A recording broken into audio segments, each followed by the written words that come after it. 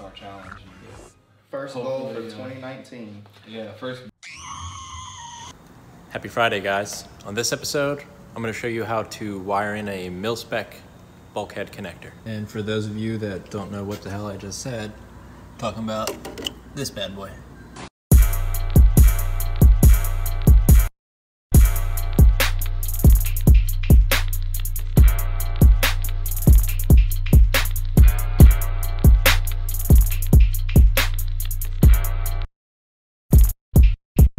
Hey guys, uh, so the Datsun is finally out of a, a little cage back there.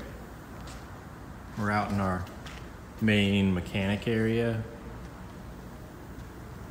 I also have to give you guys a video on the actual whole uh, suspension setup I got.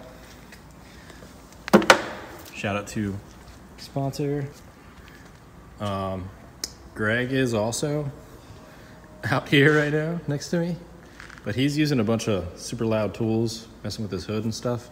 Um, so I'm actually gonna just once I actually get rolling, I'm gonna go ahead and uh, just voice over pretty much all of this because it's been loud lately.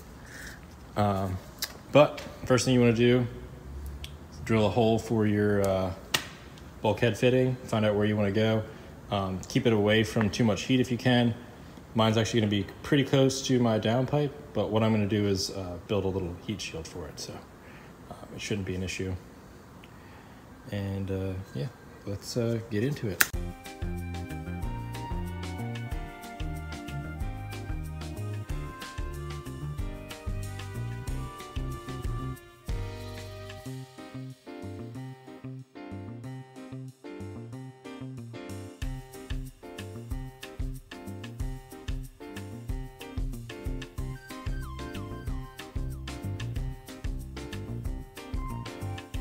Let's jump right into this. So first I'm just going to explain the uh, bulkhead connector itself.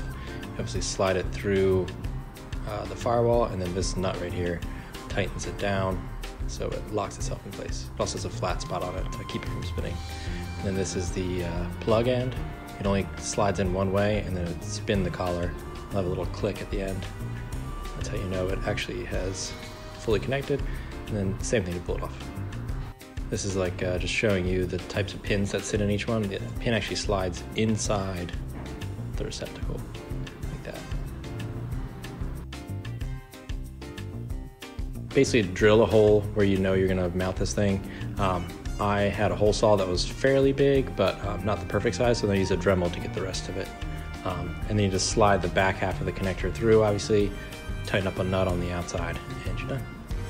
One useful tip would definitely be to take a bunch of photos of each wire and label which wire harness this is, and then mark what number pin each one's going to go into. I literally just take a photo with my iPhone, and then just in the uh, editor, you can just write right on the screen, and that's it. Good way to keep everything organized. So to start, we have to remove the excess shielding on the very end of the wire to expose the copper. Um, I like using these wire strippers. They're super useful, and you can adjust how much they actually clamp down for the thickness of wire, and you can adjust this little red guy at the end that actually uh, determines how much wire shielding you crimp off. Next step would be to pinch the terminal on the end of this exposed wire. I'm using a Deutsch connector. Uh, it has four little pinchers that come in at the same time and lock the terminal in place. This threaded bit on the back actually determines how deep the terminal can sit in the crimper. So you just slide a terminal end on, put the crimper on it, make sure it's about flush with the face of the crimper, and just tighten down, and that's it. It's super easy.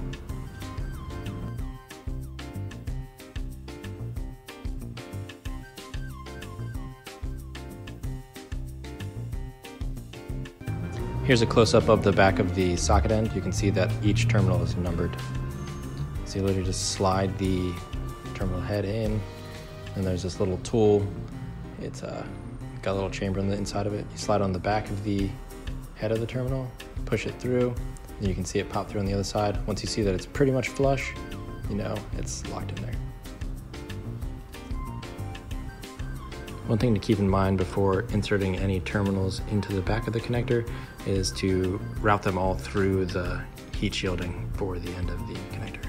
I forgot to do this and I actually had to pull my O2 sensor back off to run it back through. Failure. All right, so here's me doing it the right way. Uh, once you have all the terminals pinned in, uh, you just need to slide the heat shielding up as far as you can on the connector. And then uh, just run a heat gun and heat it all completely evenly all the way around. Um, you want to just take your time, do it slowly. Um, I'd say take three or four minutes probably doing this. Now all that's left is to plug in your mil-spec connector and route all the wiring. Alright guys, I hope you found this 5 Minute Friday informative. Peace.